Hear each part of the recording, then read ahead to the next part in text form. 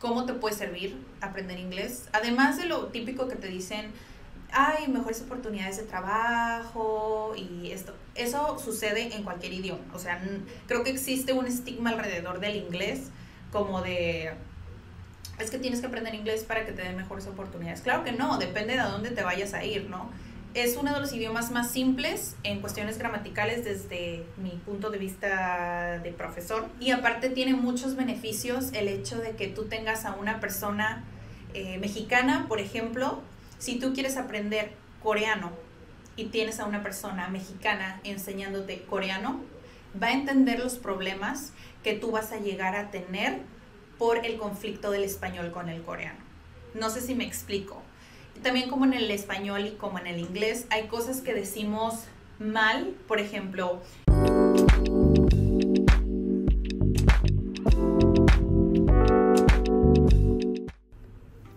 Hello, hello, welcome to this episode. Bienvenidos a este episodio de podcast. Mi nombre es Daniela Barrera, soy guía CAT y me apasiona la educación. Me encanta crear pues de todo, ¿no? Cursos, eh, material, me encanta ayudar a las guías, me encanta crear muchas cosas. Estudié enseñanza de idiomas, pero no era mi primera opción y principalmente eh, enseñar inglés era lo que estaba estudiando en ese momento, pero me enamoré de la educación en ese, en ese, en ese primer semestre. Ya después les contaré la historia. Pero el día de hoy quiero platicar sobre algunas dudas que pueden existir alrededor de aprender un segundo idioma o aprender inglés específicamente. O sea, quiero hablar cosas como de, ¿realmente es tan difícil? Eh, ¿Recomiendo yo o no recomiendo que te enseñe un nativo? ¿A dónde te puede llevar este idioma? Y pues en general, ¿cómo puede ayudarte a aprender otro idioma o en este caso inglés? ¿Ok? Entonces, eh, son los temas de los que voy a platicar en este episodio de podcast. Ese es un nuevo formato completamente nuevo para mí. Yo honestamente me siento más cómoda en frente del micrófono nada más. Pero yo entiendo, yo entiendo completamente que hay personas que prefieren YouTube, hay personas que prefieren Spotify. Yo soy de las personas que prefieren Spotify.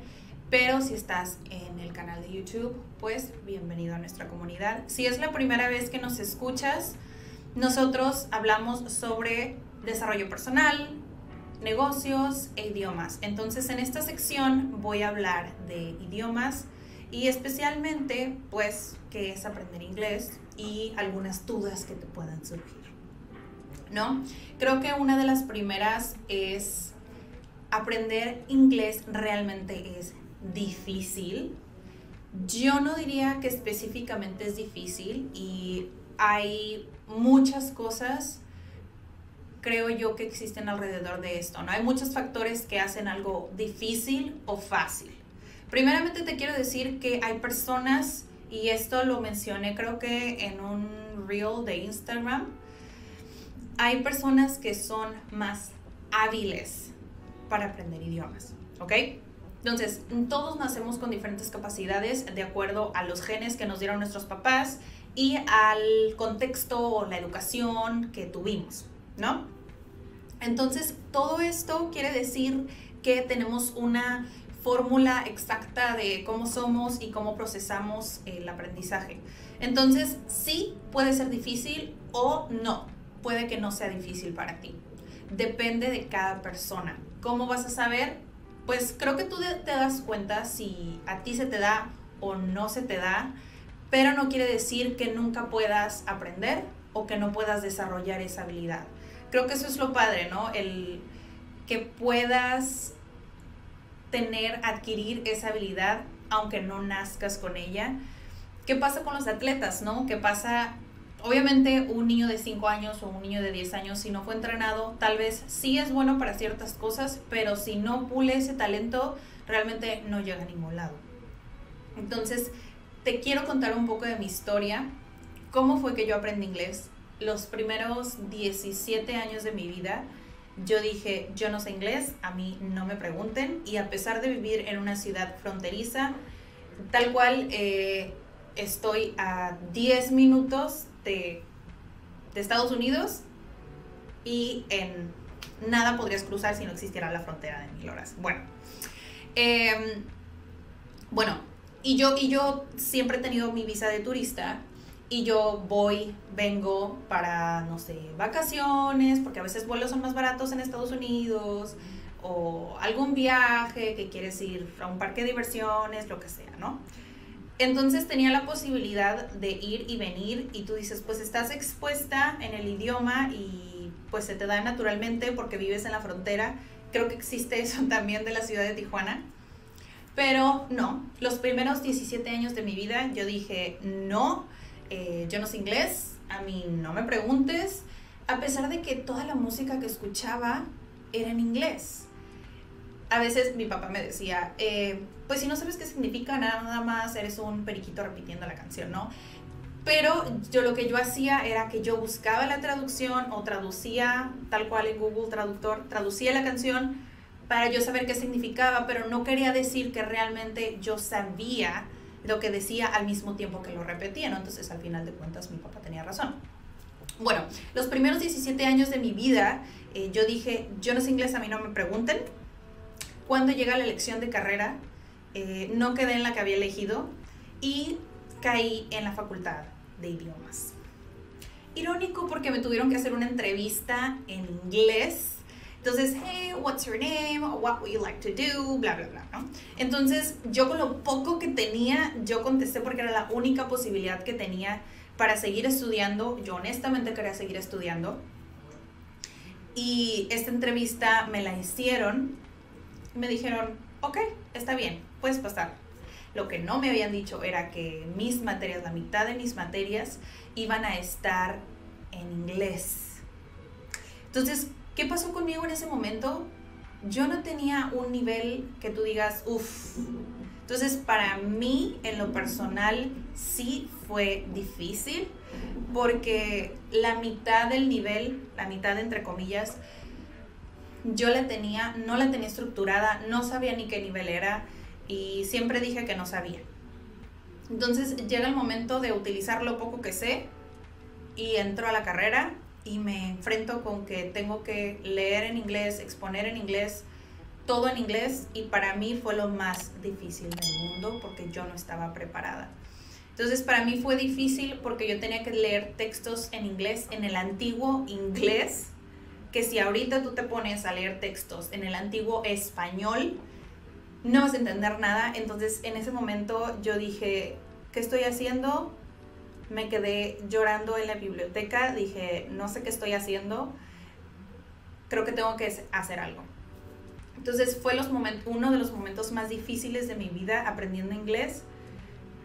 Y dije, a partir de ahí, pues me inscribí a los cursos formalmente de inglés, entonces por la mañana yo tenía mis clases de idioma de la carrera y por la tarde yo pulía con gramática. Entonces eso fue un año y medio y estar repasando todos los días fue algo que honestamente a mí me ayudó. Ya cuando llegué como al quinto nivel, ya venía un poco más natural, porque de hecho yo tenía una amiga que también era muy buena y estaba en clases de inglés entonces yo recuerdo una vez que me dijo el profesor, nosotros, bueno, creo que si se dan cuenta yo hablo mucho. Entonces el profesor una vez me dijo, chicas, si van a estar platicando, por favor echen el chisme en inglés. Entonces nosotros dijimos, mm, si se puede hacer eso, ¿por qué no? Entonces fue cuando empezamos a intentar hablar algo cotidiano, algo más natural para nosotras en inglés. Entonces fue ahí donde realmente hice clic con el idioma porque ahora sí dije, o sea, ahora lo mío lo puedo compartir, ahora lo que yo pienso lo puedo decir. Entonces fue poco a poco como fui desarrollando esta identidad en inglés. Entonces ya lo difícil, ya, ya hice el cambio. Entonces ya después para mí vino natural. Entonces, por eso te digo que no es difícil o sí es difícil, depende del mindset y depende de qué tanto tiempo le vayas a dedicar. Yo creo que eso es algo que digo en cada episodio de podcast. Eh, depende del tiempo que le vayas a dedicar, es el resultado que, vas a obtener en cualquier cosa. Y también como el hecho de decir, ¿sabes qué? No sé, o sabes que ya necesito hacer algo al respecto, porque también me ha pasado que llegan personas que han estudiado durante mucho tiempo y no pueden avanzar, como que no pueden, yo creo que ya es un bloqueo que tienen y piensan que es difícil para ellos, pero creo que nada más es seguir, seguir intentando, ¿no? Yo todavía sigo aprendiendo, por supuesto, desde entonces, desde esta historia que te platiqué, han pasado 10 años y pues los últimos 3, 4 años he enseñado español, entonces eso siento yo que es lo que me ha servido muchísimo. ¿Por qué? Porque mi idioma lo tengo que explicar en inglés, porque es lo que me queda. Y a partir de eso a veces hay cosas que pues miembros CAT me dicen, ¿sabes qué? O sea, esta palabra en español es esta en inglés y realmente yo no la sé en inglés. Entonces les digo honestamente, la verdad no sé, tengo que checar en el traductor si es así, checar si la palabra que tú me estás diciendo funciona dentro del contexto y pues es así como he aprendido palabras nuevas también. Cuando estoy enseñando también termino aprendiendo. Creo que esa es la parte cool. Entonces, bueno, si yo te puedo dar un consejo de cómo hacerlo más fácil, eh, enséñalo, enséñalo a alguien. Enséñalo a alguien si realmente quieres como reforzarlo. Creo que la mejor manera es enseñándolo. Definitivamente. ¿A dónde? Creo que yo estoy un poquito tocando el eh, cómo puedo ayudarme a aprender inglés. A mí me ayudó a conectarme con esa parte de socializar porque es así como me vino natural. Socializar con, con esta amiga, echar el chisme en inglés, fue algo que para mí dije, o sea, si puedo hacer esto, y aparte hay como una personalidad que desarrollas cuando estás aprendiendo un nuevo idioma. Entonces, muchos lingüistas van a estar de acuerdo conmigo y yo creo que han escuchado esto antes. Empiezas a desarrollar una personalidad cuando aprendes otro idioma, como que te empiezas a conectar con la cultura y empiezas a conectar como piensa esa comunidad y como que la tienes dentro de ti y haces clic. Entonces, a veces empiezas a usar frases en tu día a día o empiezas a pensar en ese idioma. Entonces, cuando ya lo haces parte de ti, ya es cuando you bloom. Bueno, creo que así se puede decir. floreces, pasas al otro lado y aunque a veces no tengas un buen nivel, si ya empiezas a pensar en el otro idioma, creo que ya tienes un buen campo avanzado. A mí me ha llevado pues enseñar español, a mí me ha llevado a conectar con otras personas, por ejemplo, a mí me encanta el parenting y creo que me ha llevado a conocer a otras personas también, de hecho, me hicieron una entrevista eh, de San Diego, o sea, todo fue completamente en inglés. Y dije, qué cool, o sea, que todo mi propósito educativo intento hacerlo en español, pero qué cool que alguien más eh, pueda ver mi contenido y que sepa que estoy haciendo algo, pues, educativo, ¿no? Que quiero poner ese granito de arena en, en el aprendizaje de alguna manera. Entonces, creo que me ha llevado a a muchas cosas. Me gusta aprender sobre desarrollo personal también. Me encanta ver videos. Bueno, más escuchar podcasts, casi no veo videos. Pongo el video en YouTube y luego ahí lo dejo como que correr.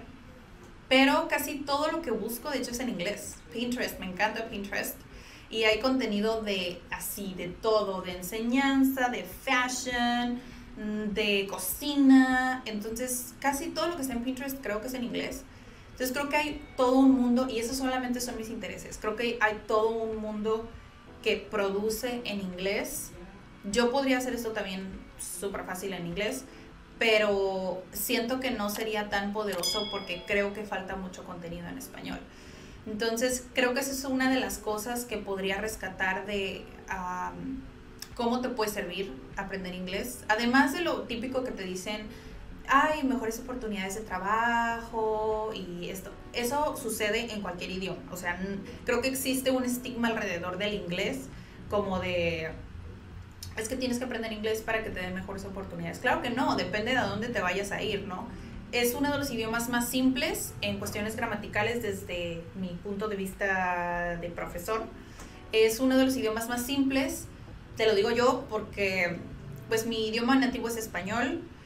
Em, mi segundo, pues no segundo idioma, pero es lengua, lengua extranjera es el inglés.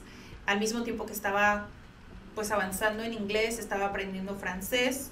Después de eso tomé seis niveles, seis niveles, seis meses de un curso de italiano, que fue el nivel 1, y estudié japonés un año. Entonces, creo que esos idiomas me ha dado la pauta para poder compararlos y ver cuál es el más simple.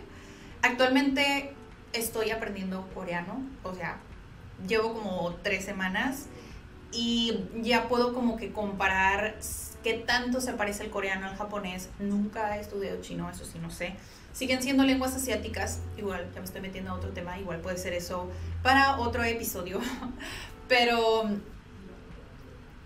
son muy similares. Lo cool del inglés y del español es que tienen muchas palabras que lo comparten, nada más la pronunciación es distinta y también se parece mucho al francés. Entonces, ahí está, si lo quieren checar, si les gusta el francés, se parece mucho al inglés, si es al revés y no les gusta uno el otro, se parece mucho.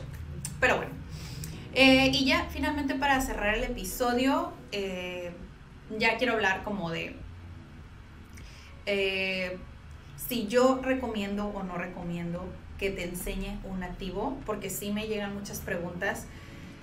Mm, a veces me preguntan como por, los, por las clases de japonés, de coreano que ofrecemos aquí en CAT y las de inglés y de español también, ¿no? Es menos común que los que quieran aprender español me hagan la pregunta de, ¿y son profesores nativos?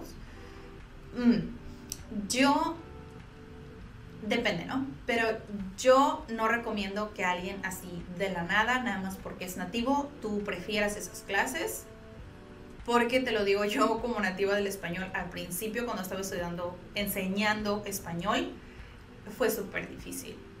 Sí, es mi lengua materna, pero fue súper difícil porque para ti hay cosas tan naturales que ni siquiera las puedes explicar.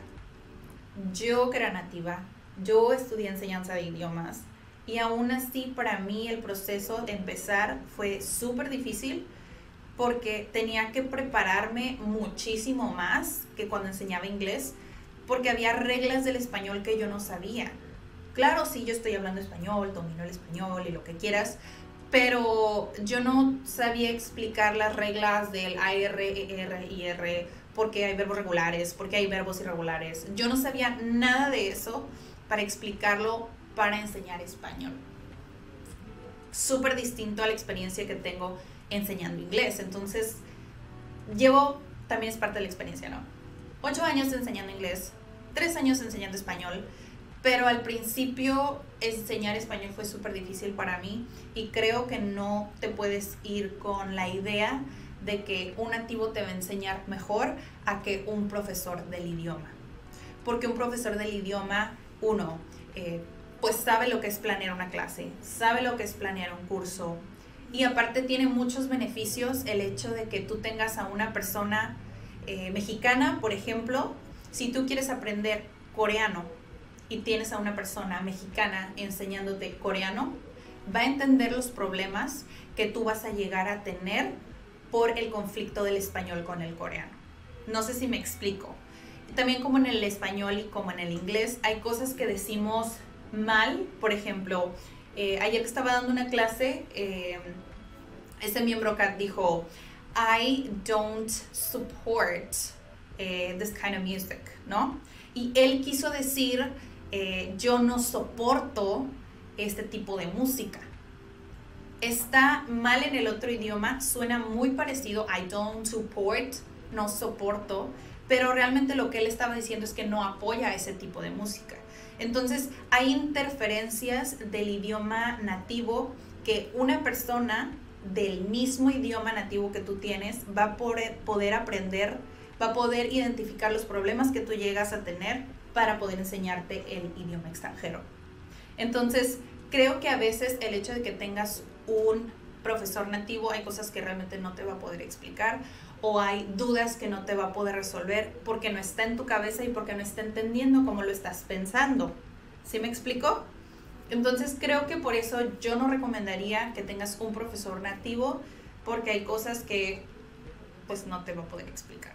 Yo te recomiendo siempre que busques a alguien que esté pues claro, preparado en el idioma, que lo domine y que de preferencia sea una persona que sabe planear una clase y que sabe enseñarlo o que tenga experiencia enseñándolo.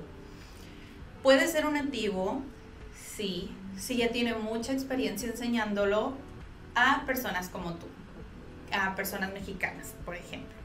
Entonces, eso es algo que yo sí te recomiendo que, que pongas mucha atención y que no te vayas como con la idea de es que es nativo y él me va a enseñar mejor. Creo que cuando tienes un nivel conversacional, practicar, no aprender, practicar este, con esta persona es algo muy enriquecedor para ti. Si en tu ciudad hay eventos donde puedes conectar con nativos, yo te recomiendo que lo hagas.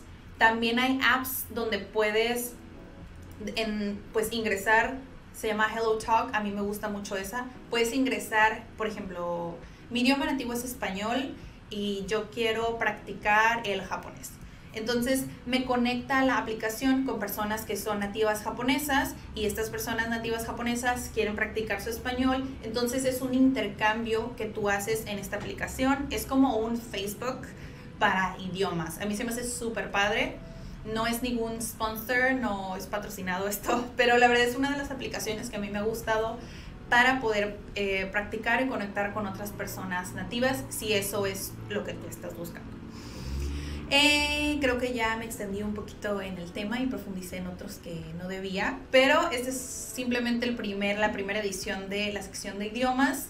Si hay temas o hay dudas que tú tengas alrededor de esto y si no lo dije o se me pasó algo, puedes mandarnos un mensajito, puedes compartir este episodio y si hay temas de los que te gustaría que platicara o ver cómo te puedo ayudar, a ver a quién traigo para pues para resolver estas dudas, ¿no? No lo sé todo, entonces si podemos conectar con alguien que nos ayude, aunque sea la distancia, sea donde esté, pues creo que sería de gran ayuda si me apoyas con temas o con algo de lo que te gustaría escuchar. ¿Ok? Muchas, muchas gracias por seguirnos. Si es la primera vez que, que nos escuchas, puedes seguirnos en Instagram, en Facebook, en LinkedIn. En Instagram estamos como Comunidad CAT y en Facebook como CAT Centro de Aprendizaje y Desarrollo. Y pues nuestra página web es comunidadcat.com. Te deseo un excelente, excelente día. Puedes compartir este video, ¿ok? O este audio, este episodio del podcast. Te deseo excelente, excelente día. Mi nombre es Daniela Barrera y te espero en el siguiente episodio.